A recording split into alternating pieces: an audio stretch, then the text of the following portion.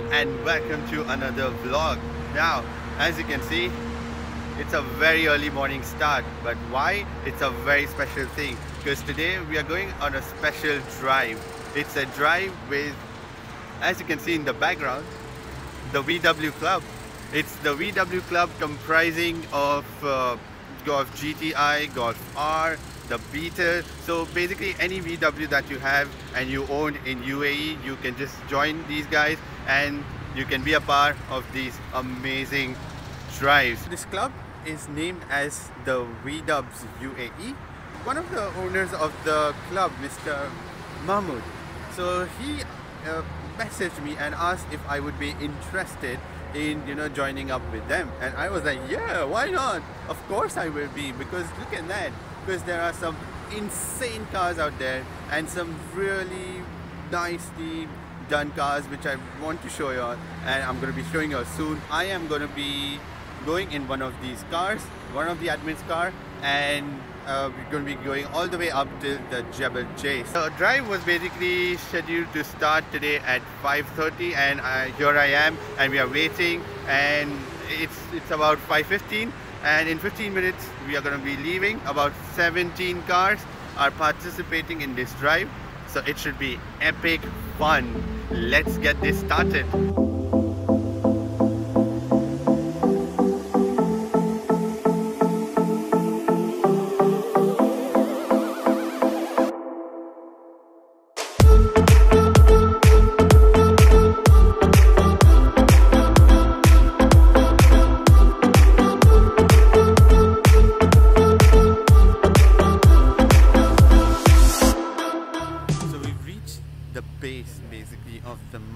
So mountain starts from right here all the way extending up.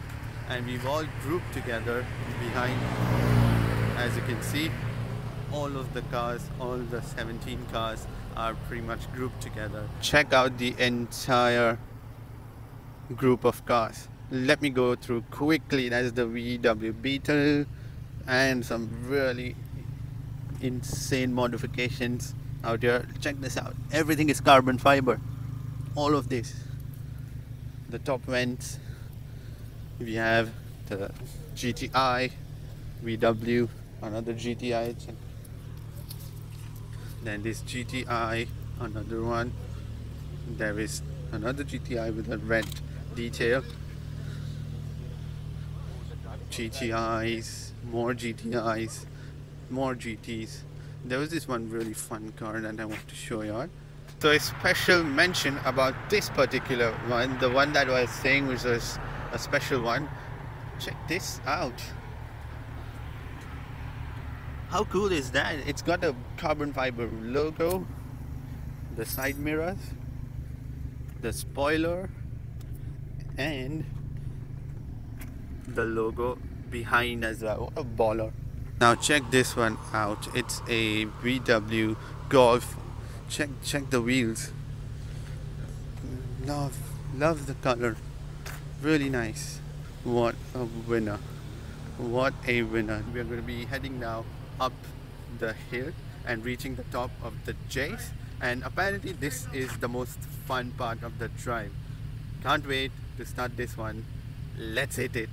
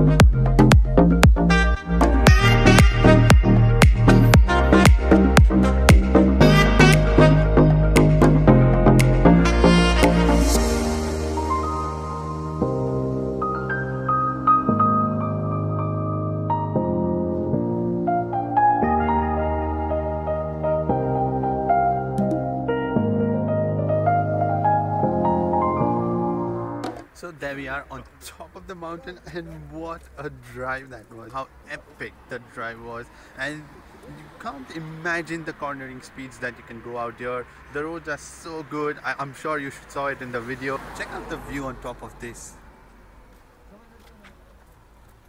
It's pretty insane. It's it's pretty insane. So I'm going to do a quick chat with Mahmoud as well. We're going to do a short uh, chat while on our way back down with Mohammed and I'm gonna try understand what all changes he has done to his car because it felt damn fast really fast. Of all of things that you can think of to make it carbon fiber this guy has done an intake which is carbon fiber.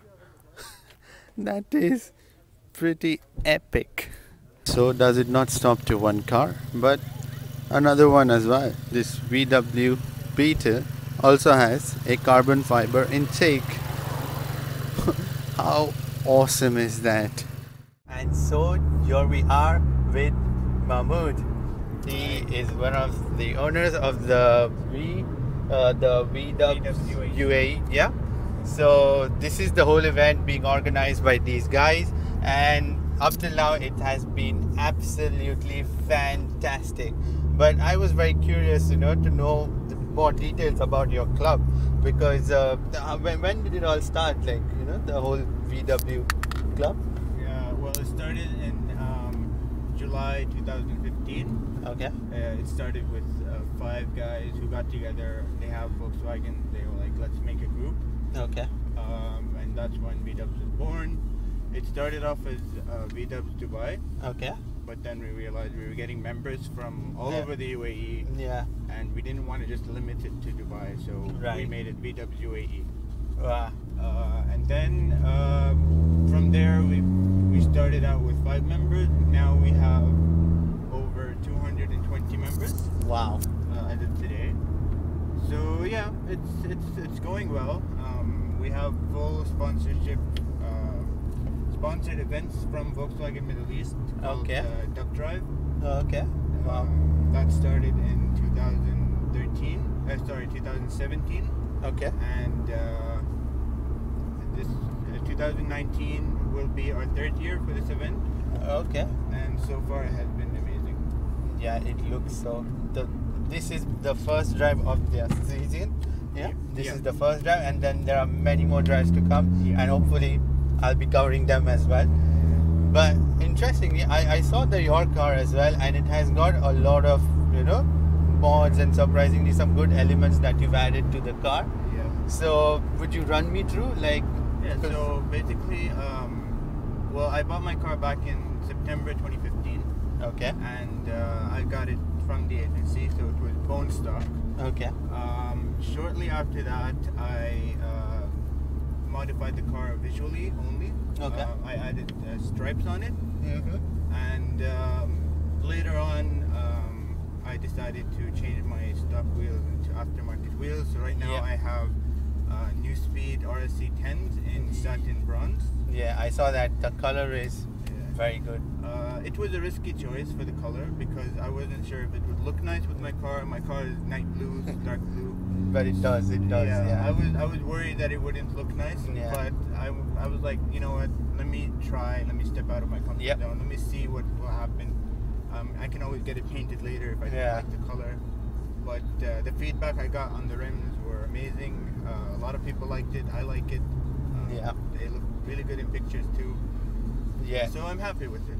Um, after the wheels, I got uh, lowering springs. Uh, I have okay. H&R lowering springs, so it lowers the car a bit. Uh, I think by, if I remember correctly, I'm not too sure to be honest. I don't want to okay. say something wrong. And, yeah. But uh, yeah, I lowered the car. Um, it's lowered, so there's barely any. Uh, there is no space. There is no space. Yeah. Fingers yeah, that's visible. Yeah but that does improve your ride as well. It, it yeah? improves the handling. The handling completely. yeah, so it, it, looks nicer too. Yeah. Also visual, you know. I mean, that was always like how the, the, the Golf was supposed to look like, you know, yeah. when you see it. Yeah, I agree. When it's that. lowered. Yeah. Um, after that, I got the uh, JB4 Tune. Okay. Uh, it's a plug and play tune, so Tune. my warranty will stay intact. Okay. Uh, so basically, this tune I can uh, control what map I want to use. Map one being the least aggressive, and map six being the most aggressive. Right. And I can customize map six to what I want. So if Ah, I want, you okay. know, peak boost at something, you know, 26 psi, I can do that. Yeah. Um, So you can do all of that on your own? I can do that on my own with the help of the guys from Yeah. uh, the Burger Motorsports uh, support team. Okay. They're very helpful. Uh, Okay. You just have to log your car and they will email you back with what to put. Right. Um, but through that, you can also learn how they're adjusting the values so you Yeah. can start doing it yourself. Yeah. Um, after the JB4, I got the Remus exhaust. Uh, Yeah. So it's uh, quad tips. My car is a GTI. Stock Yes. it comes with dual tips only. Yeah. Um, but I wanted to go for a nice, aggressive look. Right. So I opted for the quad tips. So I got the quad tips, uh, carbon, uh, carbon fiber tips, Tips, yes. from Remus. Yeah, and I saw. also changed the diffuser to uh, Rieger diffuser to fit the two exhausts. Right. The stock one won't fit two Won't tips. fit, yeah. But it, the exhaust note is incredible. Yeah, I, I got the resonator delete as well. I had to remove because I didn't like how the car sounded too quiet. Yeah. Uh, it wasn't to my liking. So I wanted to make it a bit louder and more deeper. So I deleted the resonator. Yeah, it sounds pretty Thank you. incredible. Like when you just you know Yeah. push your foot down, hard down on the on the Yeah. throttle. Yeah. Um, that's pretty much. Oh, I also got the uh, spoiler, um, Mhm. Osir spoiler. So I was tired of seeing um, uh, every single Golf in the UAE with the same exact spoiler Yeah. from uh, Oettinger. It Mhm. was getting, you know, annoying and boring because everyone has the same thing. No Yeah. one is, no one is trying out something new. Something No new, is- yeah. So I went for the Osir spoiler um, fiberglass. Um, I had it shipped from the US. Right. Uh, I had it painted the same color as the car. Okay. So now it matches the color of the car and it looks uh, it looks unique. But Like, but do people don't try because they are maybe afraid of you know changing a lot of things on the car? It's just very like ready to fit kind of a spoiler, yeah. yeah, basically everything I've done are are basically Stock like Yeah. pretty much fits on the the stock yeah nothing Wherever. is, nothing is permanent on the permanent, yeah. So you Uh, don't uh, void your warranty as It's well. not about that. Um, when it comes to for me personally, when I when I modify the car visually, Mhm. I like to keep my options open in the future. So maybe I don't want to I want to change the spoiler in the future. Right. So I don't want something permanent on the car. Right, So it right. will be easier for me to remove and put something else Yeah. instead. Uh, same goes for let's say uh, the exhaust. I can you know change it whenever Yeah. I want. Right. It's not permanent. Yeah. Uh, usually these stuff aren't permanent anyways. So yeah, they are. Yeah. Yeah, They are anyways changeable, and Yeah, you can you know. The only thing Upgrade. in terms of body kit I have is just a spoiler for now. I Okay. am planning to get a lip in the near future. Wow. Okay. Uh, yeah, pretty much everything. So those are your future mods for the car. For now, yes, a lip A lip. and um, perhaps coilovers because I don't. The car is not low enough for me. I want it a bit Oh, lower. more? You're Yeah. gonna go more low? Yeah. Okay. Um, that would be interesting to see. Yeah. And you plan to add any carbon fiber bits on? The thing about carbon fiber, personally, to me, it's it, two reasons why I don't like putting carbon fiber on my car. One Yeah. reason is um, it doesn't look nice with the blue, Yeah. uh, especially if you have only bits and pieces that are carbon fiber, not Mhm. you know one big piece. Big or, piece, yeah. It doesn't you know visually look nice Yeah. to me. It just breaks everything. Like you know, Yeah. cuts the whole smooth flow of Yeah. the interior. Second reason is um, carbon fiber isn't what you see in the market. Um, from you know let's say websites you buy online that claim it's carbon fiber Mm. it's not actually 100% carbon fiber Yeah. carbon fiber is very expensive material so if you get for example a spoiler for 200 dirham they claim it's carbon fiber it's not really carbon Yeah, fiber. it's not the real one. it may have one tiny layer of carbon fiber and the rest is just fiberglass or plastic but it's not actually carbon fiber. Yeah. So yeah, the problem true. with that is uh, with the heat that we have here, hmm the color will turn to yellow, Yellow. and that will further ruin the look of the, Yeah, the part. that's true. So that's why I don't like getting carbon fiber parts on No, my it, car. it makes sense. Yeah, but anyways, the, the whatever the stock things are, it's pretty good. eh, Like you know, in the whole car. The and anyways, what you want is is more for the performance bit instead of just the you know. Well, I mean, it depends on the person. For me, Yeah. I focus more on the visual than the performance. Yeah. Because I'm not gonna go racing every day. Or, Yeah. You know, I, I use this car every day. the purpose is very yeah. Yeah. Oh, this is your daily driver. Yeah. Okay. So I don't want to, you know, yeah, that makes sense. put stress on the car that's not needed when I'm not Yeah. using it, like for racing or I'm just driving normally. You know? Yeah, yeah, that makes sense. So I focus more on visual aspects of the car. Right. And maybe in the future, if I get a second car, I can, make this, turn this into a project car. Project car. Go big on it. Yeah. So, so what, what are the futures for you know the the group itself? Like for the for the year, Well, maybe I mean, we've been trying to get a sponsorship uh, from companies or from garages. Okay. Uh, we're still looking. We're still trying to find something. okay. Um, well, so far our plans were achieved. Our goals were achieved. Okay. Uh, specifically for Dub Drive. Right. Uh, Dub Drive was started by V-Dubs and the Volkswagen Saudi Club in uh, Saudi Arabia. Saudi Arabia.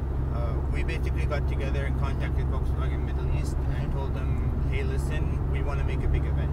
Right. Uh, they agreed. We set up the first meeting in 2017, and I think two or three months after that, the event was actually live. Wow. So, That's yeah, pretty uh, amazing. That event. So let me tell you a bit more about that event. Yeah. Uh, that event's main goal is to get all the clubs from the entire GCC region Okay. uh, Volkswagen clubs and bring them to one city Okay. and have a festival kind of event with track days and drags and road Ah, racing. okay. So last the first year we did this, we had 150 cars. Okay. Uh, that was in 2017. 2018 we had uh, nearly 300 cars, Oh, that's double. double the uh, original amount. And in 2019, which is in two three months from now, we are aiming for again 300 cars. Okay. Um, but it's going to be a two-day event Two-day. instead of one. So more events and split up into. We're splitting it up because we want to focus on uh, the two main parts of the event. So we don't want everything crammed in one day. Right. So Yeah. the first day will be a festival.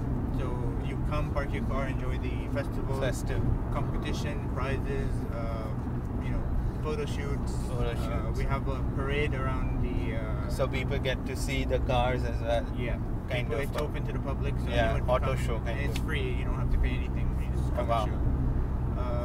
The I remember the first year we had the idea of having a parade around Dubai. Okay. Uh, we got that with the help of uh, Dubai police escorts.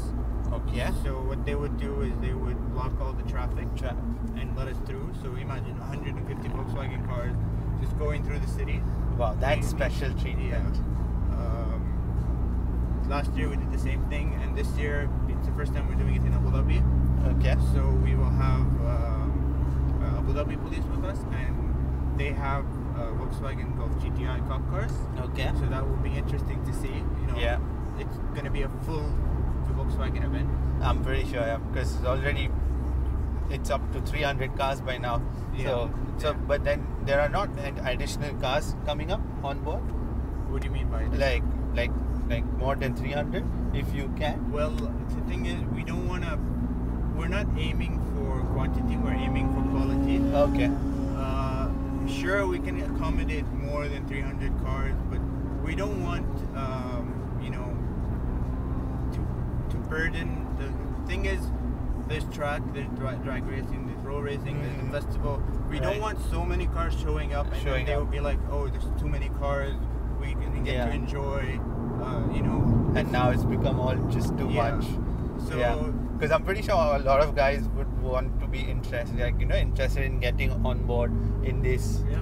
because it's it's a very huge event and and Yeah. since it's an annual one, so it, it, does make sense. Like you know, you just join along with everyone, Yeah. and it's anyways like a like a group where you know you just catch up with you know like how it was today, where you know you just discuss the various mods that people do, Yeah. and there's some new ideas. It's uh, the slogan of the event is uh, the unity of Volkswagen clubs in the GCC. Mhm. So this entire idea started with uh, Wörthersee.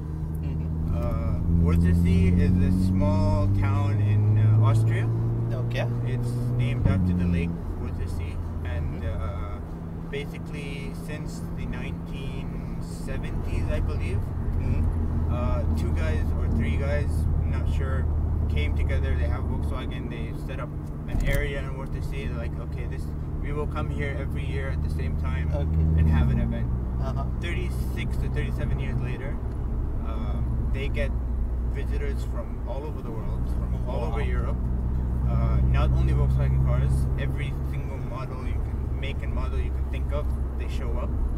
Uh, it became sponsored by Volkswagen AG, which is Volkswagen uh, Germany.